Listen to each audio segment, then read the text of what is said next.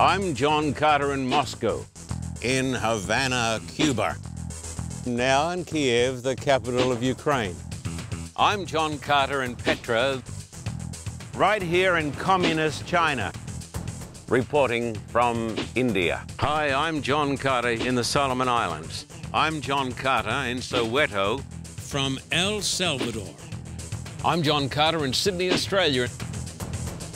Join us with questions and answers with Pastor John Carter. Hello, friend. I'm John Carter in Los Angeles. Welcome to this special Q&A session.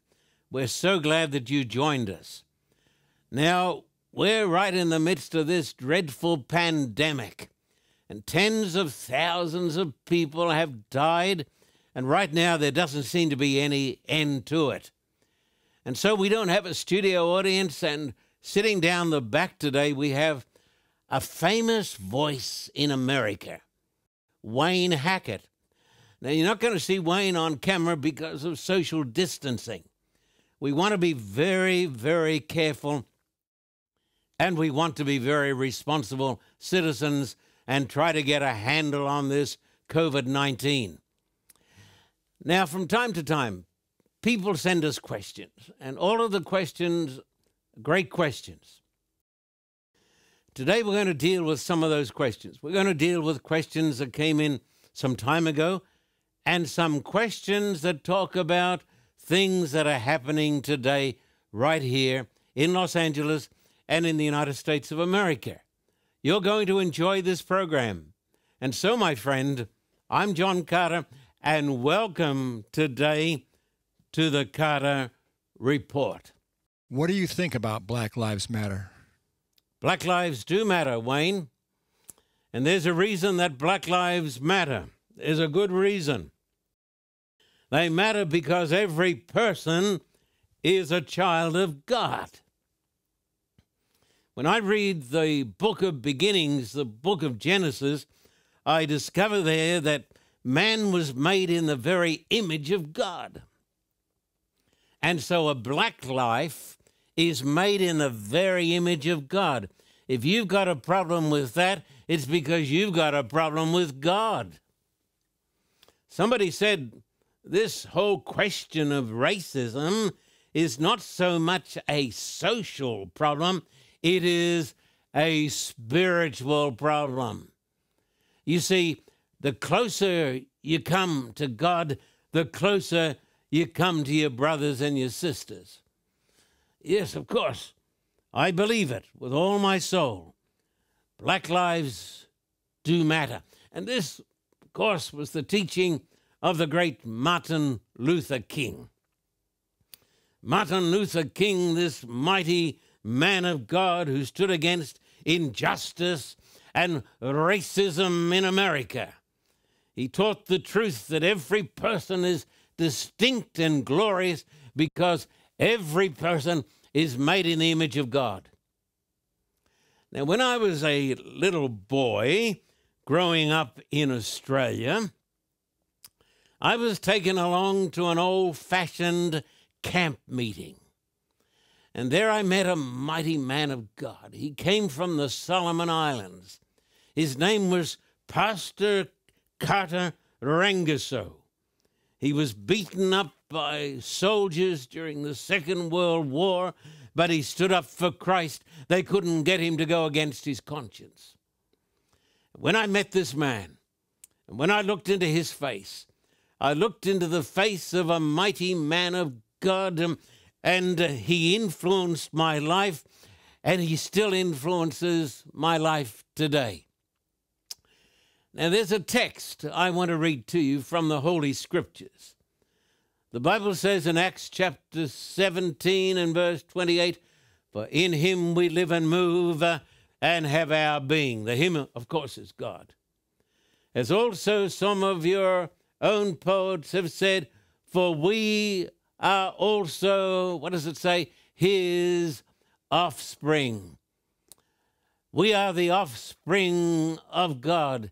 And therefore, I say to you, in the name of God, Black Lives Matter. Do you think America is a racist country? Do I think America is a racist country? Of course, there are some racists in America. Of course, there are some racists. I've met some, but I'm going to tell you folks something. A country that is basically racist would not have elected a black man as the president of the United States of America, and I refer to Barack Obama. And so I don't believe that America is basic, uh, basically a racist country. I believe America has made tremendous strides as far as racism is concerned. Do you think black people have been oppressed in America? Well, uh, my friend Wayne, uh, what would you call slavery, brother? It's one of the greatest blights upon the human race. Yes, black people have been oppressed in America and now we are paying the price. I was astounded the other day when I was checking up on this subject to discover that around the world today there are tens of millions of people still in slavery. Can you believe it? And they're in slavery because people have not got a relationship with God. Because if you have a relationship with God, you will believe that every person is a child of God. I want to read to you from the words of Christ, Luke chapter 4 and verse 18.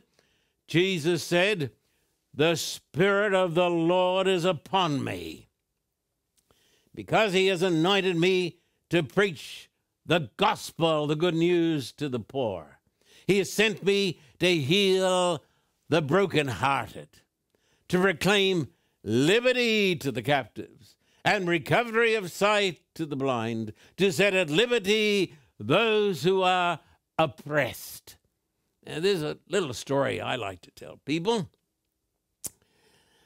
The first person who released the slaves in the United States of America was a carter.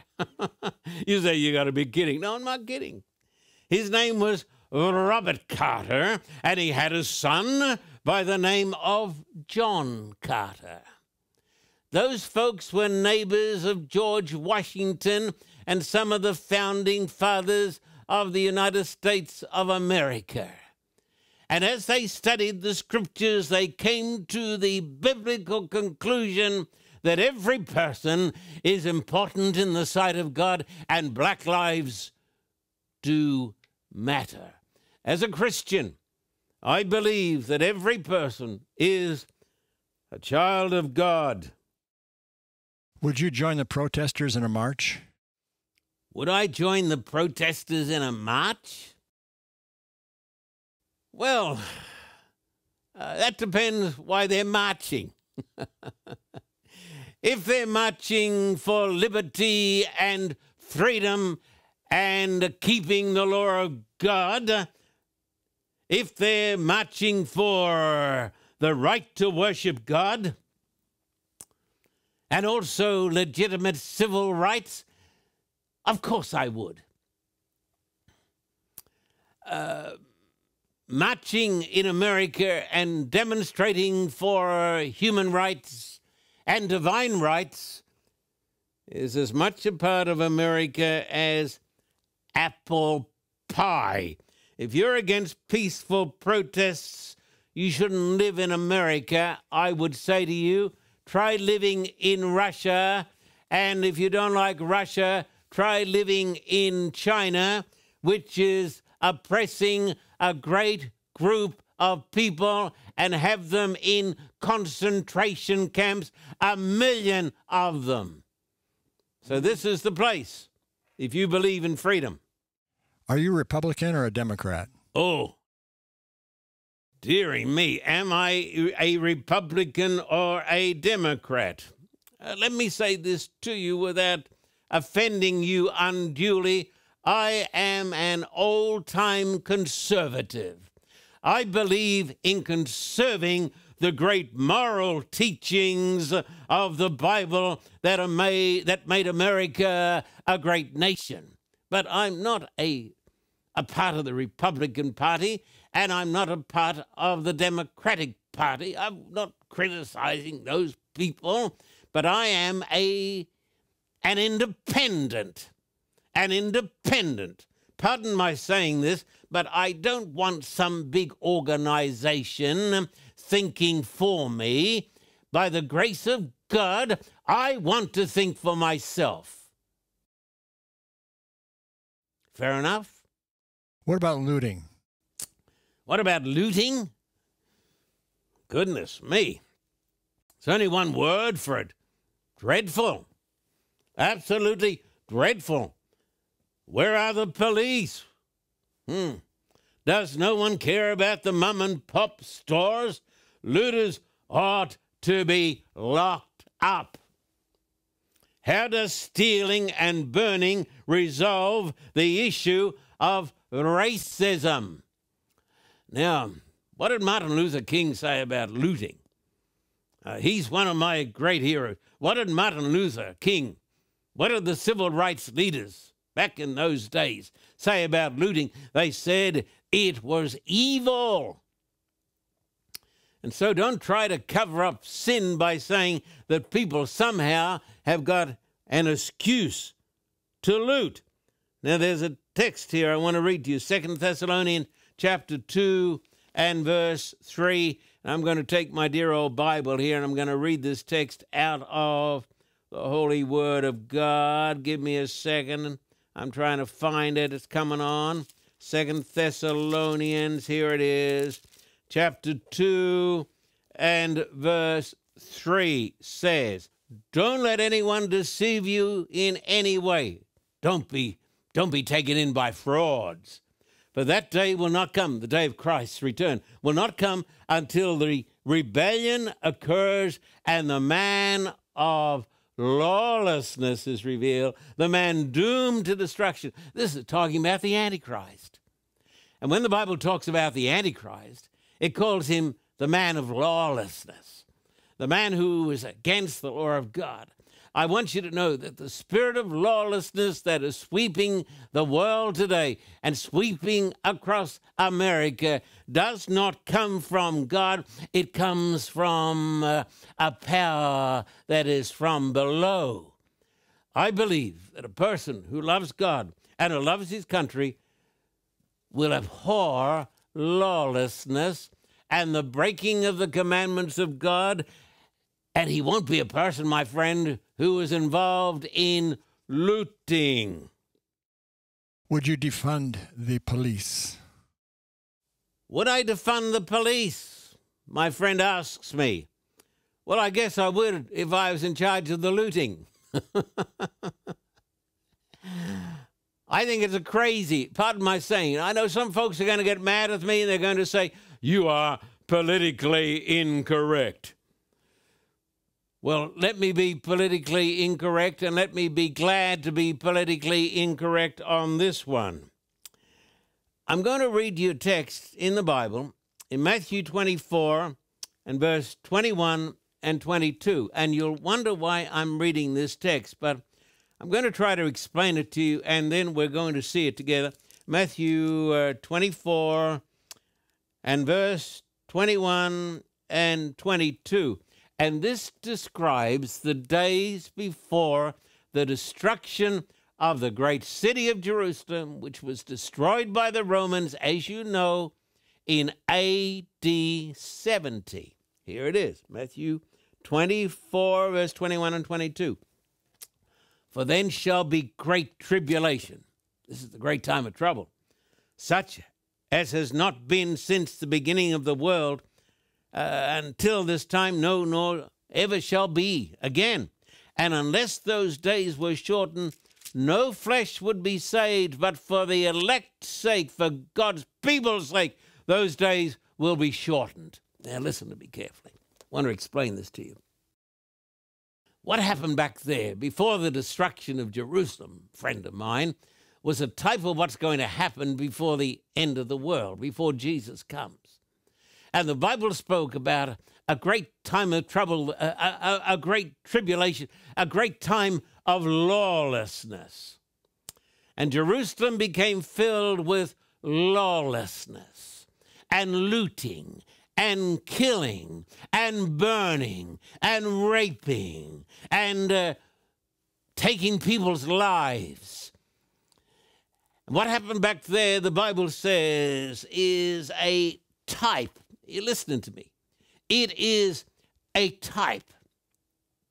It is a shadow of what is going to happen in this world before Jesus Christ returns. The world is going to see a time of lawlessness and anarchy, and I believe this time is starting now. You listening to me?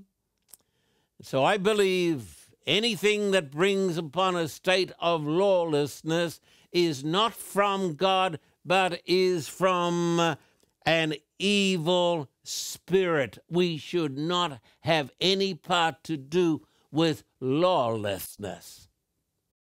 Is there police brutality? Is there police brutality? Well, I guess there is some. Uh, think about the cruel murder of Mr. George Floyd. It makes your blood run cold. And so, you know, everybody recognizes that there has been uh, some police brutality. Are most police officers violent? Um, are most police officers violent? I don't think so. I think most police officers are pretty decent sort of people. Um, we need the police. It's absolutely insane to get rid of our policemen. You know who are going to suffer the most, don't you? Now, this this has been kept from a lot of the American people. But I'm going to tell you something. When when you get rid of the police, my brother, my sister, the minorities are going to suffer the most. The poor people, the minorities in the worst parts of town, they're going to suffer the most and they're going to have the greatest bloodshed if you get rid of the police. We can't do this. Um, I belong to a Bible study group here, and one of the members of that group who sometimes leads the Bible study group is a policeman by the name of Vern. Uh, he's been on our television program. He's one of the nicest guys I've ever met. And let me say this too, because a lot of people don't seem to get this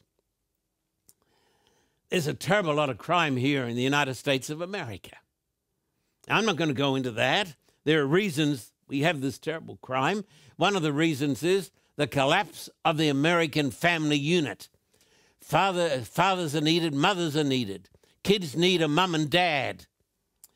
But in Los Angeles alone, you've got more than 100,000 gang members. 100,000. So, to get rid of the cops?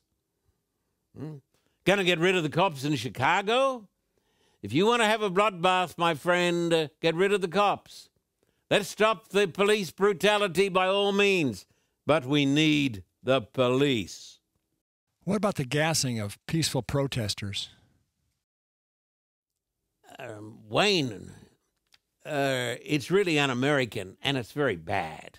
It really is. I did some study on this. I was shocked to discover that some of the toxic gases they're using are banned by the Geneva Conventions, talking about warfare. But fancy using these toxic chemicals upon peaceful demonstrators. It's totally un American. Now, I believe this, and I don't, I, you know, I guess after I've answered all these questions, I'm going to have a lot of people mad with me from both sides. All I say to you is think it through. Please think it through. Let's be balanced. There needs to be a big reformation of our policing system. Watching police chiefs take a knee and praying with demonstrators, in my humble opinion, is beautiful. But we are not a police state. And I'm totally on the side of peaceful protesters. Peaceful protesters should never be gassed. Their protesting is a part of the American ideal and tradition. What is the real solution? What is the real solution? Well, not more speeches or tweets from politicians. Goodness me. After a bit, you get sick of the stuff that you've got to listen to. The solution is not more tweeting and speeches from politicians. I'm tired of it, and I guess you are too. Now, here is the real solution if you want answers. Now, this is a tough one.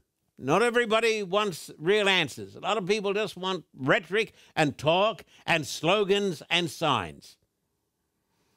But listen to me. And Martin Luther King spoke about this.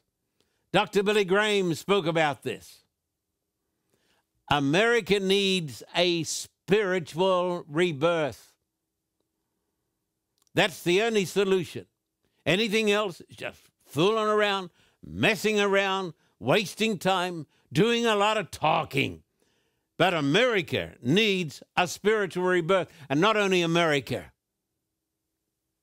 many other countries as well. Now, um, I think I'm going to get a text here, and I'm going to read it to you. And it's a text in the Old Testament, and here it comes Second Chronicles. You ready for it? Just listen to, listen, my friend, listen to the words of Scripture. If my people, who's talking? Well, God's talking. So listen. If my people who are called by my name will humble themselves and pray and seek my face and turn from their wicked ways, then I will hear from heaven and will forgive their sin and heal their land. And the Bible says when bad things happen to us, and we profess to be the people of God, this country of America is the most religious place on the face of the earth.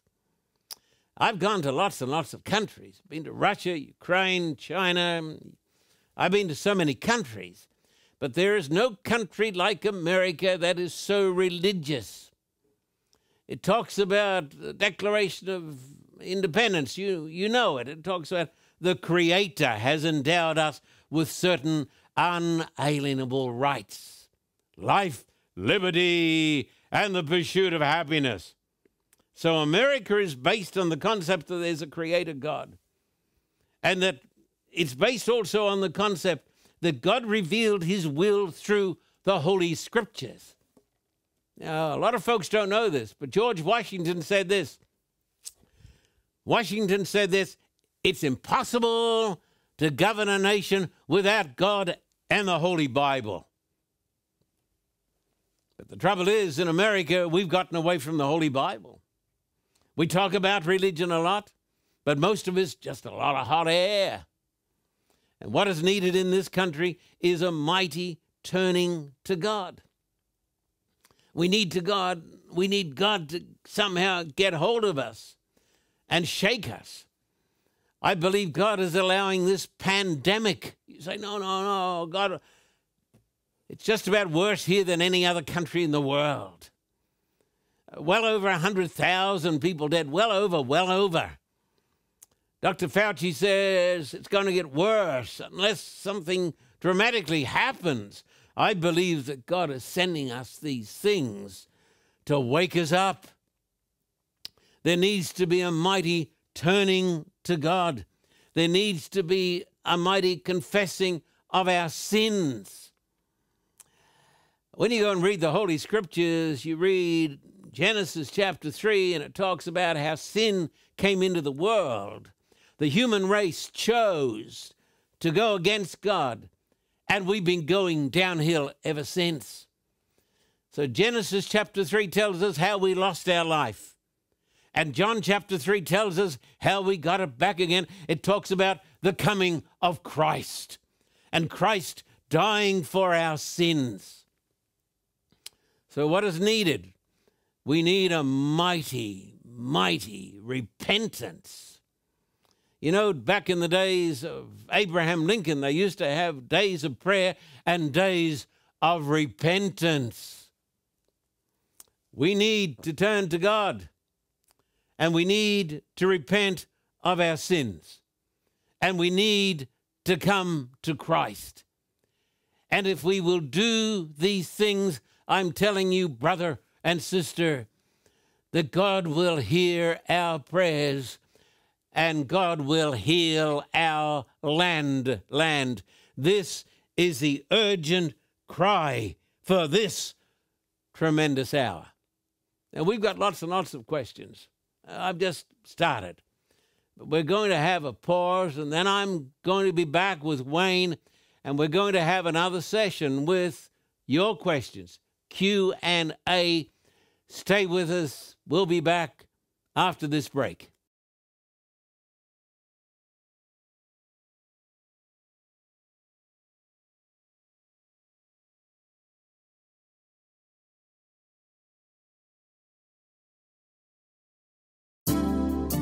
The Carter Report is now streaming on demand for you. Now you can have the teachings of John Carter anytime, day or night. By streaming the Carter Report, there is more content for you to choose from, and it's easy. If you are new to streaming, all you need to do is purchase a streaming device. It doesn't really matter which one. You can buy a Roku, Amazon Fire, or Apple TV from any major retailer. You or a family member can plug the device into your TV and sign into your internet connection. Do a search for the Carter Report and download the app to your device. From then on, your device and the Carter Report app can provide you with hundreds of on demand programs. You can also take the Carter Report with you wherever you go. The official free Carter Report mobile app can be downloaded to your phone or tablet. Go to the App Store or Google Play Store and download the app. Additionally, you can find Carter Report programs on your favorite podcast. You can also watch us on Vimeo or YouTube. Type the Carter Report in the search box. You can watch hundreds of uninterrupted John Carter teachings whenever you want, for as many hours as you want. Travel with John Carter as he circles the globe to bring the gospel to millions of people. Watch the Carter Classics from over 50 years of ministry and gain knowledge from stimulating interviews with Christian leaders. You now have multiple ways to watch the Carter Report. And once you start streaming, you'll find comfort in having these teachings readily available to you, whenever and wherever you want, for free. Welcome to the inspirational world of John Carter. For a copy of today's program, please contact us at P.O. Box 1900, Thousand Oaks, California 91358. Or in Australia, contact us at P.O. Box 861, Terrigal, New South Wales 2260. This program is made possible through the generous support of viewers like you. We thank you for your continued support. May God richly bless you.